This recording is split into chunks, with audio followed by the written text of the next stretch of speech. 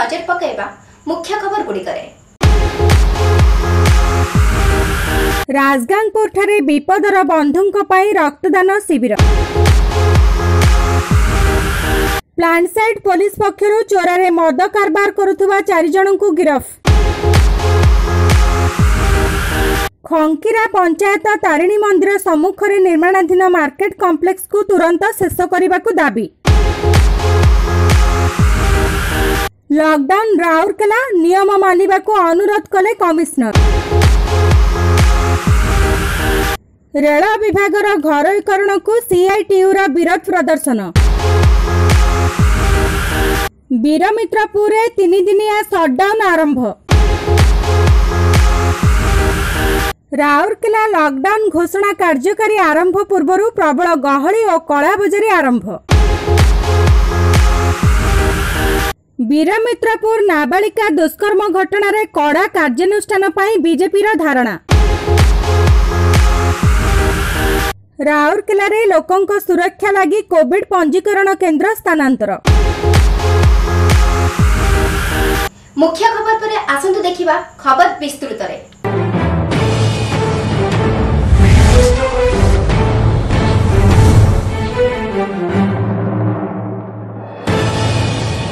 ମୁଖ୍ୟମନ୍ତ୍ରୀ ନବୀନ ପଟ୍ଟନାୟକଙ୍କ ଆଦର୍ଶକୁ ପାର୍ଥକ୍ୟ କରି ବିଜୁ ଛାତ୍ର ଜନତା ଦଳ ତରଫରୁ ଛାତ୍ର ଜନତା ଦଳ ସଭାପତି ବିଶ୍ୱପ୍ରକାଶ ବେହେରାଙ୍କ ସଂଯୋଜନାରେ ରାଜଗାଙ୍ଗପୁର ସ୍ଥିତ ଲିପଲୋଇଠାରେ ଏକ ରକ୍ତଦାନ ଶିବିର ଆୟୋଜନ କରାଯାଇ ପଚିଶ ୟୁନିଟ୍ ରକ୍ତ ସଂଗ୍ରହ କରାଯାଇଛି।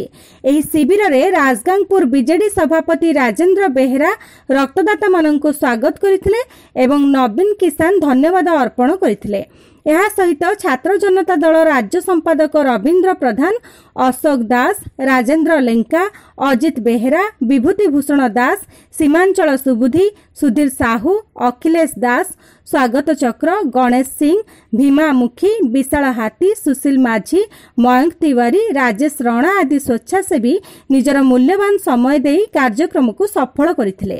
ବିଶ୍ୱପ୍ରକାଶ ବେହେରା ବିଜୁ ଛାତ୍ର ଜନତା ଦଳ କନଷ୍ଟିଚ୍ୟୁଏନ୍ସି ପ୍ରେସିଡେଣ୍ଟ ରାଜ୍ୟମନ୍ତ୍ରୀ ଆମର ଉଦ୍ଦେଶ୍ୟ ଆମର ଯେଉଁ ମହାମାରୀ କରୋନା ସମୟରେ ଯେଉଁ ରକ୍ତର ଅଭାବ ଦେଖାଯାଉଛି ଯେଉଁ ଆମର ଥାଲେସିମିଆ ପେସେଣ୍ଟ ଆମର ଯେଉଁ ପ୍ରେଗନେନ୍ସି ମହିଳା ଅଛନ୍ତି ତାଙ୍କମାନଙ୍କ ପାଇଁ ଆଜି ଆମର Rourkela blood bank Sundargarh blood ବ୍ୟାଙ୍କରେ ରକ୍ତ ଅଭାବ ଦେଖାଦେବାରୁ ଆମର ମାନ୍ୟବର ମୁଖ୍ୟମନ୍ତ୍ରୀ ଯେଉଁ ଆହ୍ୱାନ କରିଥିଲେ କି ଯେଉଁ ଆମର ବ୍ଲଡ଼ ବ୍ୟାଙ୍କରେ ଯେଉଁ ରକ୍ତ ଅଭାବ ଦେଖାଯାଉଛି ତାକୁ କେଉଁ ହିସାବରେ ଆପଣମାନେ ଇଏ କରିବେ ତ ଆମର ଯୁବକ ଛାତ୍ର ଆଉ ମହିଳାମାନଙ୍କୁ ଯେଉଁ ଆହ୍ୱାନ ଦେଇଥିଲେ ତାକୁ ଆମେ ଇଏ କରିକି ଆମେ ଏଇଟା ରାଜାମପୁରରେ ଦ୍ୱିତୀୟ ଦିନ ପାଇଁ ଆମେ ରକ୍ତ ସଂଗ୍ରହ ଚାଲୁ କରିଛୁ। Social worker Raijampur Akhilesh Das.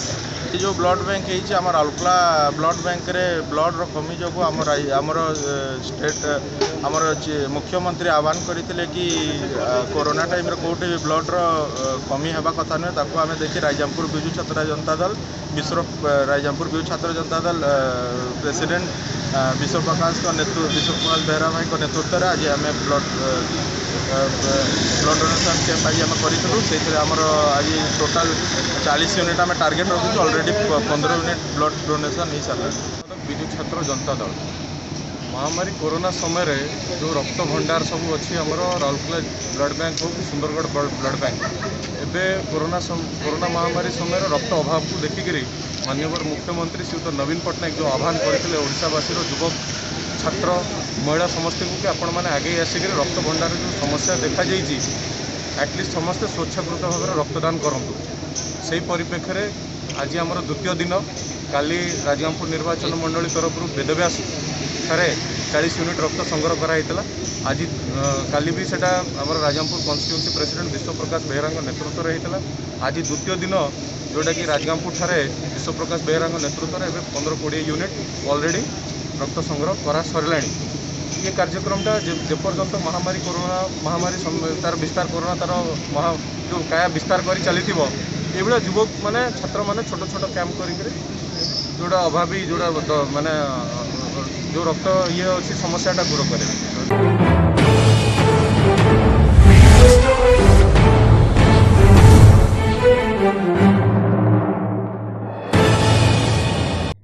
শুক্রবার দিন রাউরকেলা প্লান্ট সাইট পুলিশ চারিজন চোরা মদ কারবার করুবা ব্যক্তি গিরফ করেছে সূচনা মুতাবক মোট পাঁচটি মামলার দুইশহ বাইশটি বিদেশি মদ চোরারে কারবার করুবা চারিজন ব্যক্তি পুলিশ গিরফ করেছে ଏହା ସହିତ ଚୋରା କାରବାର କରୁଥିବା ବ୍ୟକ୍ତିମାନଙ୍କ ନିକଟରୁ ଚୋରା କାରବାରରେ ବ୍ୟବହୃତ ମୋଟର ବାଇକ୍ ମଧ୍ୟ ଜବତ କରାଯାଇଛି। ସବୁଠାରୁ ଗୁରୁତ୍ୱପୂର୍ଣ୍ଣ କଥା ହେଉଛି ଜବତ ହୋଇଥିବା ବିଦେଶୀ ମଦ ବୋତଲଗୁଡ଼ିକରେ ବିଭିନ୍ନ ନାମକରା ମଦ କମ୍ପାନୀର ଲେବଲ ମରାଯାଇଥିଲା। ଏହିଭଳି ଭାବେ ବିଦେଶୀ ମଦଗୁଡ଼ିକୁ ଚୋରାରେ ବିକ୍ରୟ ହେଉଥିବା ଜଣାପଡ଼ିବା ପରେ ପୋଲିସ ଅଧିକ ସକ୍ରିୟ ହୋଇଛି।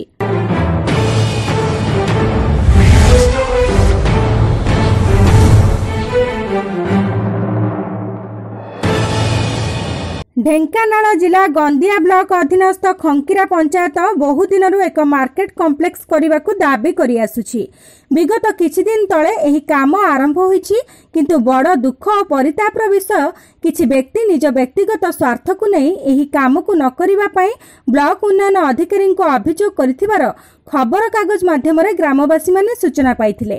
ଖଙ୍କିରା ପଞ୍ଚାୟତର ଦୀର୍ଘଦିନର ସ୍ୱପ୍ନ ବାସ୍ତବ ରୂପ ନେଲା ବେଳକୁ କାହିଁକି କିଛି ହାତଗଣିତି ଲୋକ ଏହାକୁ ବିରୋଧ କରୁଛନ୍ତି? ତାହାର ଏକମାତ୍ର କାରଣ ଏକ ରାଜନୈତିକ ଅଭିସନ୍ଧିକୁ ନେଇ ଏକ ସାମୂହିକ କାମ ବିରୋଧ କରିବା ବୋଲି ଗ୍ରାମବାସୀମାନେ କହିଛନ୍ତି। ଖଙ୍କିରା ପଞ୍ଚାୟତର ତାରିଣୀ ମନ୍ଦିର ନିକଟସ୍ଥ ଜାଗାରେ ସରକାରୀ ଅନୁଦାନରେ ଏହି ଦୋକାନ ଗୃହଗୁଡ଼ିକ କରାଯାଉଛି। ଏହିଠାରେ ମାର୍କେଟ କମ୍ପ୍ଲେକ୍ସ ହେଲେ କୌଣସି ପ୍ରକାର ଅସୁବିଧା ହେବ ନାହିଁ। ଯେଉଁ ଶବଦାହ ଜାଗାରେ ମାର୍କେଟ କମ୍ପ୍ଲେକ୍ସ କରାଯାଉଛି ବୋଲି ଅଭିଯୋଗ ହୋଇଛି ତାହା ସମ୍ପୂର୍ଣ୍ଣ ମିଥ୍ୟା। ଶବଦାହ ଜାଗା ପାଚେରୀ ମଧ୍ୟରେ ସୁରକ୍ଷିତ ଅଛି ଆଉ କିଛି ଜାଗା ତଳକୁ ଜବରଦଖଲ ଅଛି। ଏହି ମାର୍କେଟ କମ୍ପ୍ଲେକ୍ସ ତୁରନ୍ତ ନିର୍ମାଣ କରାଯାଉ ବୋଲି ଗ୍ରାମବାସୀମାନେ ଗନ୍ଦିଆ ବ୍ଲକ ଉନ୍ନୟନ ଅଧିକାରୀଙ୍କୁ ଏକ ଦାବିପତ୍ର ଦେଇଛନ୍ତି।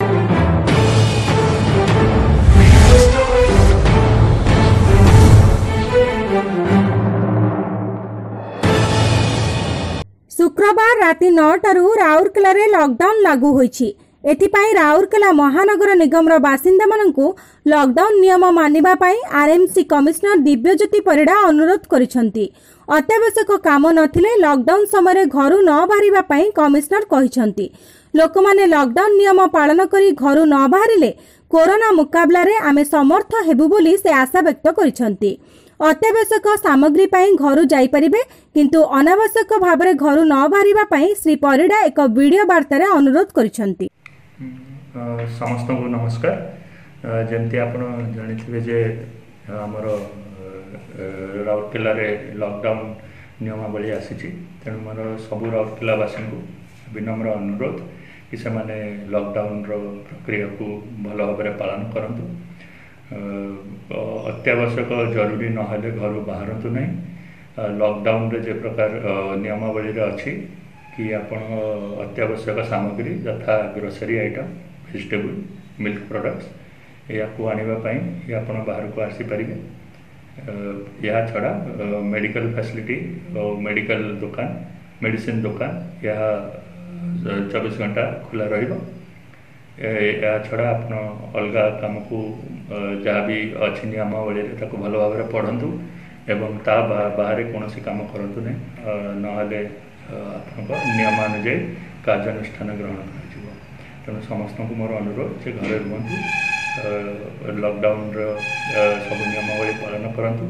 ଏହା କରିଲେ ହିଁ ଆମେ କୋଭିଡ଼ର ଏହି ପ୍ରସାରକୁ ଅଟକାଇ ପାରିବା ଏବଂ ନିଶ୍ଚିତ କୋଭିଡ଼ ଅ, ଅ, ବିରୋଧରେ ଆମେ ସଂଗ୍ରାମରେ ଆମେ ନିଶ୍ଚିତ ଭାବରେ ଜିତିବା ଧନ୍ୟବାଦ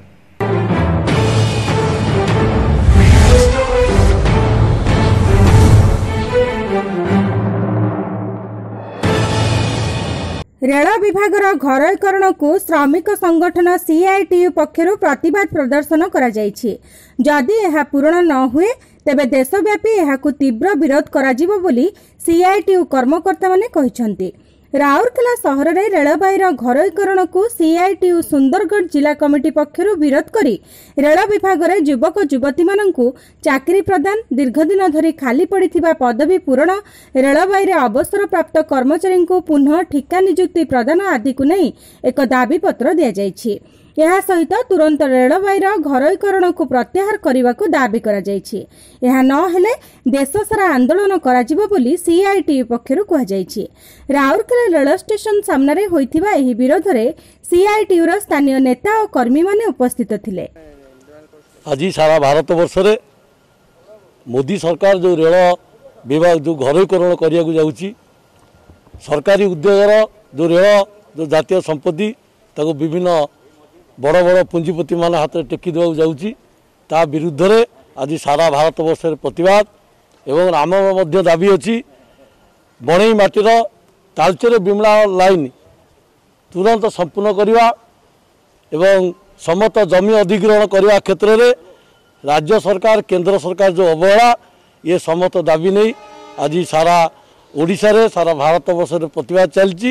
ତେଣୁ ଆଜି ସିଆଇଡି ତରଫରୁ ଏଇ ଯେଉଁ ତୁରନ୍ତ କେନ୍ଦ୍ର ଜାତୀୟକରଣ ଘରୋଇକରଣ କରୁଛି ମାଲି ବ୍ୟକ୍ତିଗତ ମାଲିକାନାଙ୍କ ହାତରେ ଯେଉଁ ଏଇ ରେଳ ସମ୍ପତ୍ତିକି ଟେକି ଦେବାକୁ ବସିଛି ତା ବିରୁଦ୍ଧରେ ଆଜିର ଏହି ପ୍ରତିବାଦ। ଆଗାମୀ ଦିନରେ ଆହୁରି ଆ ବିରୁଦ୍ଧରେ କାର୍ଯ୍ୟକ୍ରମ ଆସିବ ଯେ ପର୍ଯ୍ୟନ୍ତ ସରକାର ଏଥିରୁ ନ ଓହରିଛି ବିଶେଷ କରି ମୋଦି ସରକାର। କରୋନା ସରକାର ହେଉଛି ମୋଦି ସରକାର ଯେ ପର୍ଯ୍ୟନ୍ତ ଏଥିରୁ ନ ଓହରିଛି ଆହୁରି ଆଗାମୀ ଦିନରେ ସାଧାରଣ ଜନତା ହଜାର ହଜାର ଜନତା ୟାକୁ ଯ- ଆନ୍ଦୋଳନରେ ଯୋଗ ଦେବେ এবং মোদীকে বাধ্য করবে এ যে জনবিরোধী নীতি এবং সরকার জাতীয় সম্পত্তিকে ঘরোইকরণ হাতের যে প্রয়াস আ বিরুদ্ধে আহ বড় ধরনের আন্দোলন হব আজ কেন্দ্রের যে সরকার অছি সে সরকার যে ঘরে শহে নটি রুট্রে দুইশো একাবনটি ট্রেন ট্রেনকু ঘরোই প্রাইভেট মালিক হাতের টেকি দেওয়া তা বিরুদ্ধে আমি করছু রেল লাইন হচ্ছে রেল হচ্ছে ভারতবর্ষর জীবনরেখা ଯାହାକୁ ବେଶ୍ କରି ଭାରତବର୍ଷର ଅର୍ଥନୀତି ଦୃଢ଼ୀଭୂତ ହୋଇଛି ତାକୁ ଯେଉଁ ଟେକି ଦେଉଛି ତା ପାଇଁ ଲୋକମାନେ ସାଧାରଣ ଲୋକଙ୍କ ଉପରେ ଯାତ୍ରୀ ଭଡ଼ାଠାରୁ ଆରମ୍ଭ କରି ଯେଉଁ ମାଲ ସାର ଭଡ଼ା ବଢ଼ିବ ଏବଂ ଦରଦାମ ମଧ୍ୟ ବଢ଼ିବ ସେଥିପାଇଁ ଆମେ ଆଜି ସିଆଇଟୁ ତରଫରୁ ସାରା ଭାରତବର୍ଷରେ এই রেলকু ঘরোইকরণ বিরুদ্ধে আমি প্রতিবাদ করছি ଡିମାଣ୍ଡ ହେଉଛି ଯେଉଁ ଘରୋଇକରଣ ବନ୍ଦ କର ଶହେ ନଅଟି ରେଲ୍ ଲାଇନ୍ ଅଛି ସେ ରେଲ୍ ଲାଇନ୍ ତାକୁ ତୁମେ ଯେଉଁ ଘରୋଇ ସେଇ ରେଲ୍ ଲାଇନ୍ର ଦୁଇଶହ ଏକାବନଟି ରୁଟ୍ରେ ଟ୍ରେନ୍ ଗାଡ଼ିକୁ ଯେଉଁ କରୁଛ ତୁମେ ପ୍ରାଇଭେଟ୍ ମାଲିକ ହାତରେ ତାକୁ ବନ୍ଦ କର। ଯେଉଁ ପ୍ରକାର ଚଳାଉଥିଲ ସେ ରେଲ୍କୁ ସେଇ ପ୍ରକାର ସରକାରୀ ସହାୟତାରେ ଚଳ।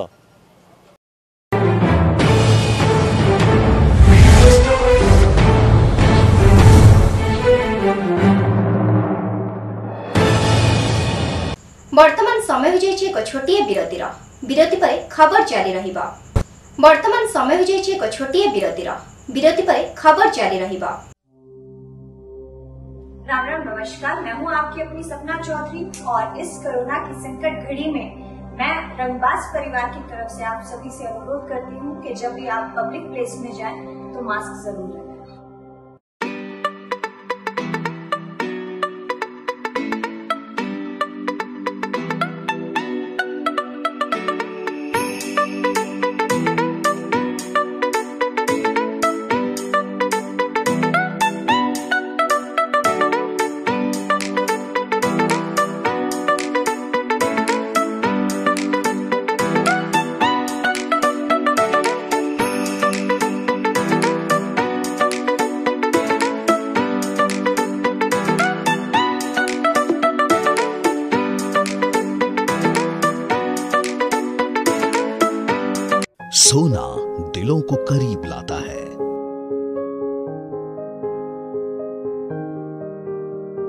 सोना ही पीढ़ियों को जोड़ता है।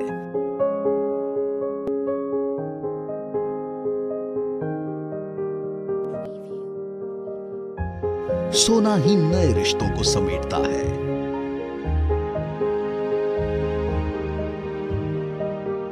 सोना ही रिश्तों के धागे को मज़बूत करता है।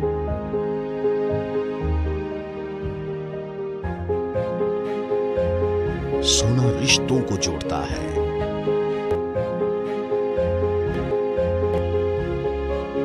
सोना ही लम्हों को रोशन करता है।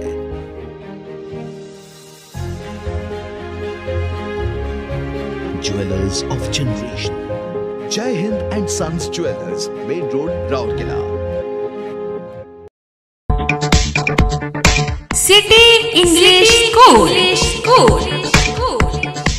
Affiliated to ICSE New Delhi.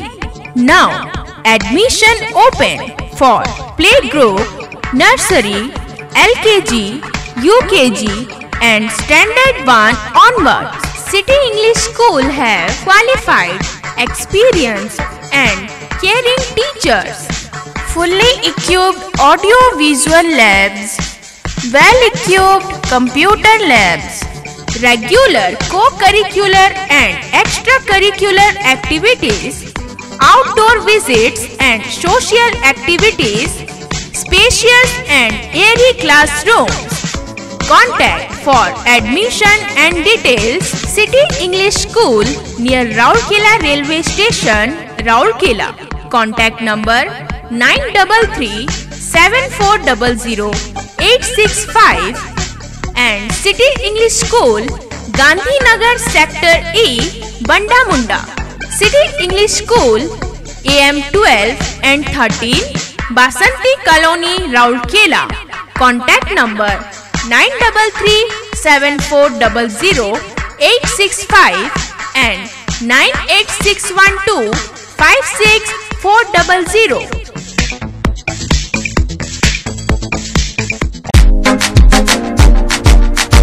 Baneshwar enterprises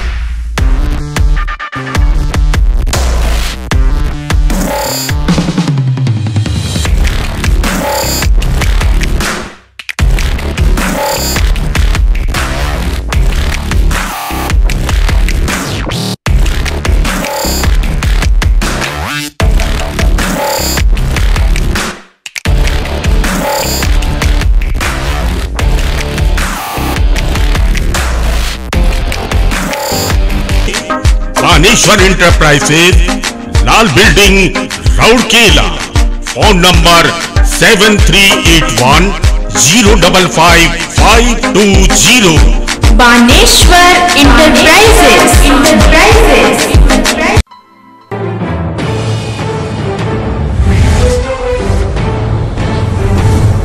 ବିରତି ପରେ ପୁଣି ଥରେ ସ୍ୱାଗତ ଜଣାଉଛି ରାଉରକେଲା ଖବରକୁ ଆସନ୍ତୁ ଦେଖିବା ଅନ୍ୟାନ୍ୟ ପୂର୍ବ ଘୋଷଣା ଓ ସୂଚନା ମୁତାବକ ସୁନ୍ଦରଗଡ଼ ଜିଲ୍ଲାର ବୀରମିତ୍ରପୁର ପୌରାଞ୍ଚଳରେ ତିନିଦିନିଆ ସଟ୍ଡାଉନ୍ ଶୁକ୍ରବାରଠାରୁ ଆରମ୍ଭ ହୋଇଛି।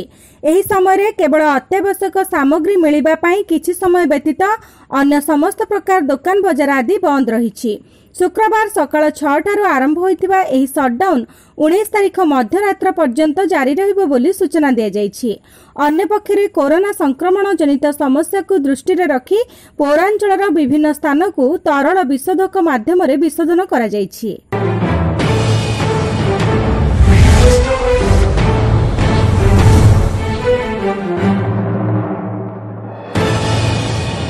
ଗୁରୁବାର ଦିନ ରାଜ୍ୟ ସରକାରଙ୍କ ପକ୍ଷରୁ ରାଜ୍ୟର ଚାରିଟି ଜିଲ୍ଲା ସହିତ ରାଉରକେଲା ନଗରକୁ ଶୁକ୍ରବାର ରାତିରୁ ସଟ୍ଡାଉନ୍ କରାଯିବ ବୋଲି ଘୋଷଣା ହୋଇଥିଲା।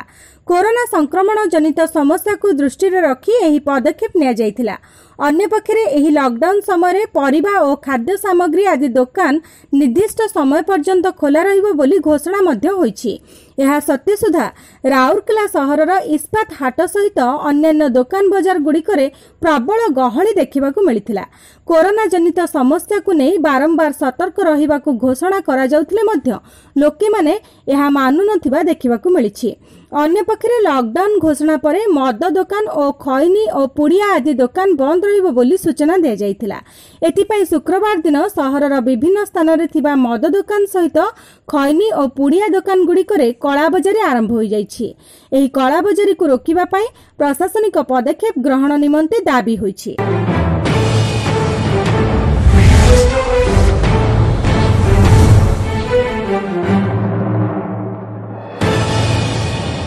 ସୁନ୍ଦରଗଡ଼ ଜିଲ୍ଲା ବୀରମିତ୍ରପୁର ନାବାଳିକା ଦୁଷ୍କର୍ମ ଓ ଗର୍ଭପାତ ଘଟଣାର କ୍ରାଇମବ୍ରାଞ୍ଚ ତଦନ୍ତ ପାଇଁ ଡିଜିପି ଅଭୟ ଏହି ନିର୍ଦ୍ଦେଶ ଦେଇଥିଲେ। ଏହି ତଦନ୍ତ ନିର୍ଦ୍ଦେଶ ପାଇବା ପରେ କ୍ରାଇମବ୍ରାଞ୍ଚ ଟିମ୍ ବୀରମିତ୍ରପୁର ଅଞ୍ଚଳର ଅଭିମୁଖେ ଆସି ତଦନ୍ତ କରିବା ସହିତ ବୀରମିତ୍ରପୁର ପୂର୍ବତନ ଥାନା ଆଇଆଇସି ଆନନ୍ଦ ମାଝୀଙ୍କୁ ଏବଂ ଅଭିଯୁକ୍ତ ଡାକ୍ତରଙ୍କୁ ଗିରଫ କରିଥିଲା। କିନ୍ତୁ ଏଥିରେ ଅନ୍ୟ ଅଭିଯୁକ୍ତମାନେ ମଧ୍ୟ ସାମିଲ ଥିବା ଅଭିଯୋଗ ହୋଇଥିଲା। ଏହି ନାବାଳିକା ଦୁଷ୍କର୍ମ ଓ ଗର୍ଭପାତ ମାମଲାରେ ସମ୍ପୃକ୍ତ ଥିବା ଅନ୍ୟ ଅଭିଯୁକ୍ତମାନଙ୍କୁ ଆଜି ପର୍ଯ୍ୟନ୍ତ ଗିରଫ କରାଯାଇ ନଥିବା ଯୋଗୁଁ ବିଜେପି ମହିଳା ମୋର୍ଚ୍ଚା ପକ୍ଷରୁ ରାଉରକେଲା ସ୍ଥିତ ପଶ୍ଚିମାଞ୍ଚଳ ଡିଆଇଜିଙ୍କ କାର୍ଯ୍ୟାଳୟ ସମ୍ମୁଖରେ ଧାରଣା ପ୍ରଦର୍ଶନ କରାଯାଇଛି। ଏହି ସମୟରେ ବିଜେପି ନେତା ଓ କର୍ମୀମାନେ ପୋଲିସ ବା ଜିଲ୍ଲା ସମସ୍ତ ଘଟଣାରେ ପ୍ରଶାସନ ଅନ୍ୟ ଅଭିଯୁକ୍ତମାନଙ୍କ ପାଇଁ କଠୋର ପଦକ୍ଷେପ ଗ୍ରହଣ କରୁନଥିବା ଅଭିଯୋଗ କରିଛନ୍ତି। ଏହି ଧାରଣା କାର୍ଯ୍ୟକ୍ରମରେ ବିଜେପି ପାନ୍ପୋ ସାଂଗଠନିକ ଜିଲ୍ଲାର ଅଧ୍ୟକ୍ଷ ସମୀକ୍ଷା ଲତିକା ପଟ୍ଟନାୟକଙ୍କ ସମେତ ନେତ୍ରୀ ପ୍ରମିଳା ଦାସ ଓ ଅନ୍ୟମାନେ ସାମିଲ ହୋଇଥିଲେ।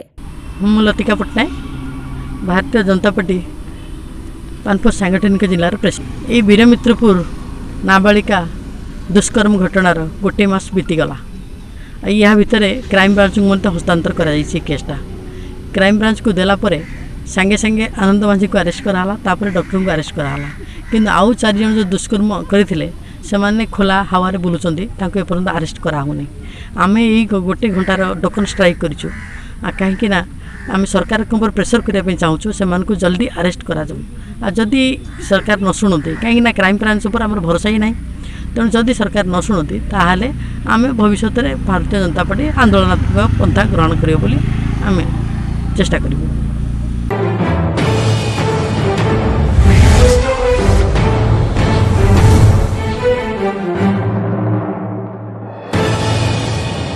କରୋନା ସଂକ୍ରମଣକୁ ପ୍ରତିହତ କରିବା ଲାଗି ରାଉରକେଲା ମହାନଗର ନିଗମ ପକ୍ଷରୁ ବିପିୟୁଟି ପରିସରରେ ସାତଶହ ଅଶୀ ଶଯ୍ୟା ବିଶିଷ୍ଟ କୋଭିଡ୍ କେୟାର ସେଣ୍ଟର ସହିତ କୋଭିଡ୍ ପଞ୍ଜୀକରଣ କେନ୍ଦ୍ର କାର୍ଯ୍ୟ କରୁଥିଲା। ଲୋକଙ୍କ ସୁରକ୍ଷାକୁ ଦୃଷ୍ଟିରେ ରଖି ଉକ୍ତ ପଞ୍ଜୀକରଣ କେନ୍ଦ୍ରକୁ ସେଠାରୁ ସ୍ଥାନାନ୍ତର କରାଯାଇଛି। ଶୁକ୍ରବାରଠାରୁ ବିପିୟୁଟି ବଦଳରେ ଛେଣ୍ଡ ବାଗୁଡ଼ି ବସ୍ତି ନିକଟରେ ଥିବା ଆଶ୍ରୟ କେନ୍ଦ୍ରରେ ପଞ୍ଜୀକରଣ କେନ୍ଦ୍ର କାର୍ଯ୍ୟକ୍ଷମ ହୋଇଛି। ପୂର୍ବ ବ୍ୟବସ୍ଥା ଅନୁଯାୟୀ ରାଉରକେଲା ବାହାରୁ ଯେକୌଣସି ବ୍ୟକ୍ତି ଆସିଲେ ପ୍ରଥମେ ବିପିୟୁଟି ପରିସରରେ ଥିବା ପଞ୍ଜୀକରଣ କେନ୍ଦ୍ରକୁ ଯାଇ ସେଠାରେ ପଞ୍ଜୀକରଣ କରାଇବା ପରେ ସେମାନଙ୍କ ସ୍ୱାସ୍ଥ୍ୟ ଯାଞ୍ଚ କରାଯାଇ ସେମାନଙ୍କୁ ହୋମ୍ କ୍ୱାରେଣ୍ଟାଇନ୍ ବା ସରକାରୀ କ୍ୱାରେଣ୍ଟାଇନ୍ରେ ଯିବା ପାଇଁ ପରାମର୍ଶ ଦିଆଯାଉଥିଲା। ବର୍ତ୍ତମାନ ବିପିୟୁଟି ପରିସରରେ ଥିବା କୋଭିଡ୍ କେୟାର ସେଣ୍ଟରରେ କେବଳ ପଜିଟିଭ୍ ରୋଗୀମାନଙ୍କୁ ରଖିବା ଲାଗି ନିଷ୍ପତ୍ତି ହୋଇଥିବାରୁ ସେଠାକୁ ସାଧାରଣ ଲୋକ ପଞ୍ଜୀକରଣ ଲାଗି ଗଲେ ସଂକ୍ରମଣର ଭୟ ରହିଛି। ବିପିୟୁଟି ପରିସରରେ ଯେଉଁ କୋଠାରେ ପଞ୍ଜୀକରଣ ହେଉଥିଲା ଉକ୍ତ କୋଠାରେ କୋଭିଡ୍ କେୟାର ସେଣ୍ଟର ଲାଗି ସମସ୍ତ ବ୍ୟବସ୍ଥା ଥିଲେ ବି ଏପର୍ଯ୍ୟନ୍ତ ସେଠାରେ କେହି ପଜିଟିଭ୍ ରୋଗୀ ରହିନାହାନ୍ତି। କିନ୍ତୁ ଆଗକୁ ସେଠାରେ ପଜିଟିଭ୍ ରୋଗୀଙ୍କୁ ରଖାଯିବ।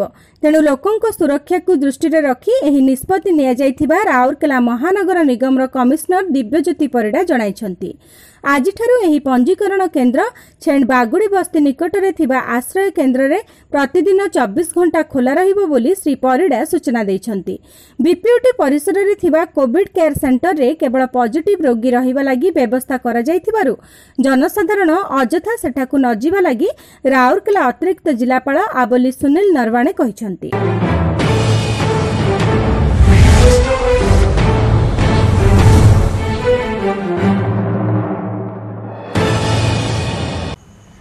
ସମୟ ହୋଇଯାଇଛି ପୁଣି ଥରେ ଦେଖା ହେବ ଆଗାମୀ ଅଧ୍ୟାୟରେ। ରହୁଛି। ନମସ୍କାର।